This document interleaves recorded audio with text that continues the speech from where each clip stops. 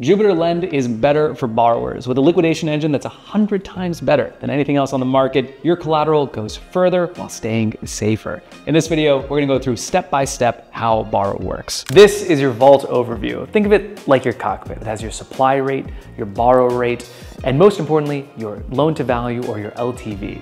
That's just a way to think about how much you've borrowed against how much you put up as collateral. Inside the Vault dashboard, you're gonna see your collateral and your borrow debt with your safety stats right up there at the top. To get started, just choose how much collateral you wanna put in, approve the transaction in your wallet, and then you can watch your LTV update in real time. If you need to free up some collateral, you can withdraw at any time just by clicking the button. Now, the fun part, actually getting your loan out. To do so, just pick how much you wanna pull out, approve the transaction in your wallet, and it's gonna show up there instantly. With Jupiter, you can borrow more than anywhere else because our liquidation engine is 100 times better. It allows us to have precision to make sure that you always get the highest LTVs on every asset possible. Repaying is just as simple. Just enter the amount, hit approve in your wallet, and watch your LTV drop. And by the way, here's my favorite part of Jupiter Lend. It's called Universal Top Up. The way it works is that you or anybody else can repay or add collateral from any wallet. You can just use the link at the top of your screen. It's unique to you. So if you, like me, have many wallets or you're just feeling like a generous friend,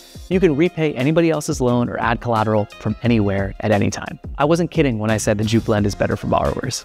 Bundled actions save time and let Jupiter do all the grunt work. Clicking on deposit and borrow supplies collateral and makes a borrow all in one go.